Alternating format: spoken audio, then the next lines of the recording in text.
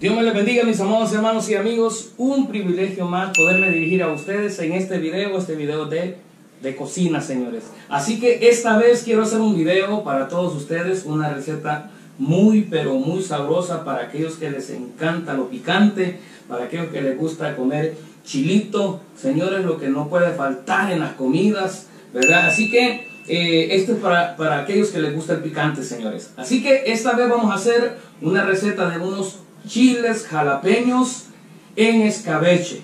Así que espero les guste la receta. Espero les guste la receta. Está muy, pero muy, muy fácil, señores. Así que seguimos con el video porque ahorita les voy a enseñar los ingredientes que vamos a utilizar para esta receta.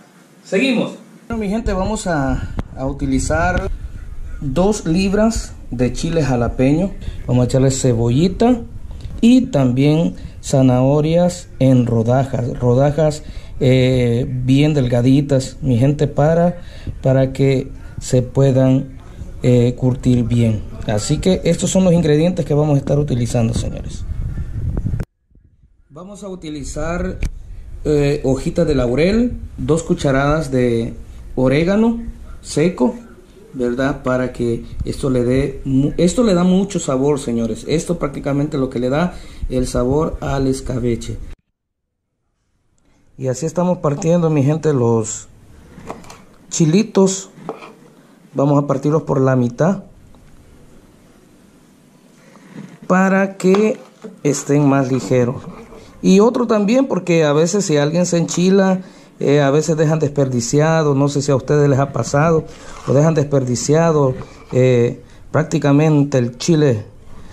Y no, no queremos eso, ¿verdad? Lo que queremos es que se pueda saborear y se puedan comer todos los chilitos. Así que seguimos con el video. Bueno mi gente y ahorita vamos a comenzar a sofreír los chiles jalapeños, ¿verdad? Es lo único que se va a sofreír, señor. Los comenzamos a sofreír de esta manera. Por unos 5 minutos, mi gente. Y lo vamos a estar moviendo. Porque lo que no queremos es que se vayan a cocinar, señores. No queremos eso, ¿verdad? Nada más a que se sofrían.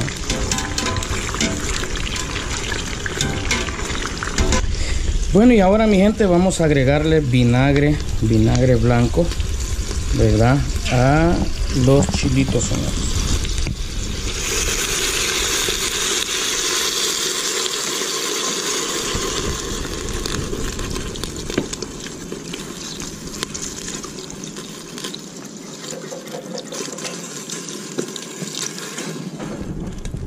hasta ahí y ahora le vamos a agregar también la misma cantidad de agua señores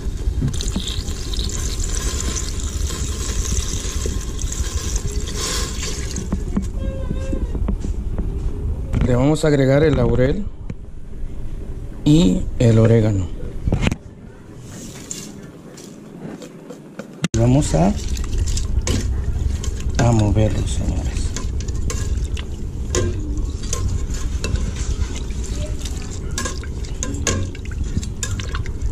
Esto está hueliendo. Delicioso, amigo. Y es. Así es, señores. Delicioso.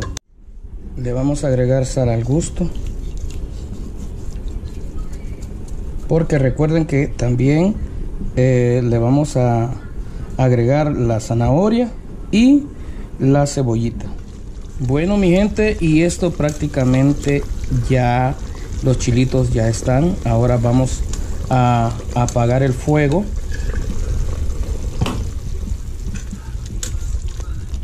Y vamos a agregarles la zanahoria.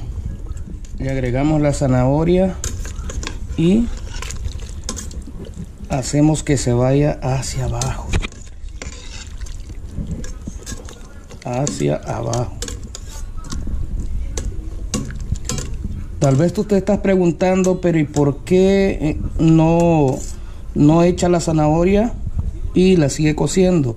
Pues lo que queremos nada más es que el agua caliente pueda eh, cocer las, las zanahorias y la cebolla también, porque si no queda demasiado blandito y así pues no es muy bueno. Ustedes vieran qué rico huele.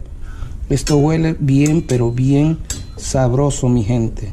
Ahora, mi gente, vamos a agregarle la cebollita. Así. Y esto solo lo... ¡Ah, qué rico huele! Y esto solo lo, lo vamos a dejar por encimita, señores. Solo lo que vamos a hacer es que la cebollita se pueda agarrar todos los sabores, mi gente. Esto huele sabroso. Así que ahí lo dejamos y lo dejamos reposar hasta que se enfríe y luego pues lo vamos a poner en un recipiente que acabo de comprar. Así que seguimos con el video. Bueno mi gente y así quedó, miren qué sabroso señores, huele delicioso. Ahorita estamos dejando que se enfríe mi gente para después poder comerlo señores, comenzar a, a probarlo, saber cómo quedaron. Así que Así mi linda gente, y así, así quedó la receta de este día. Esos chilitos jalapeños en escabeche con cebollita, zanahoria. Espero que les haya gustado el video. Si les gustó el video, regálenme un like. Que se puedan suscribir, denle click a la campanita para que les lleguen más notificaciones. Dios me les bendiga en gran manera y recuerden visitar mi otro canal de aventuras de pesca 503. Así que que Dios me les bendiga y gracias, gracias, gracias de todo corazón por estar siempre pendiente de todos los videos que se está subiendo en este canal. Bendiciones a todos.